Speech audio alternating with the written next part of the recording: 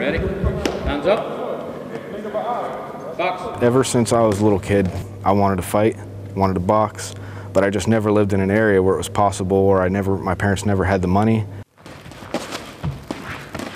Good. Nose up. And I get here and find out that this is going on and I just got really excited and came out here as soon as it started and I've been sticking with it. Or slip. Two, three, two. Simple, very, very Well, I've simple lost a lot of punches. weight, gotten a lot better shape. I went from barely passing my PT test to this last one I just took last week, getting a 95.1, beating my commander's score. And I, I, I got tired of, uh, you know, just scraping by, being out of shape. Just built my confidence up. It definitely uh, changed your life and the way you look at yourself. It's good things.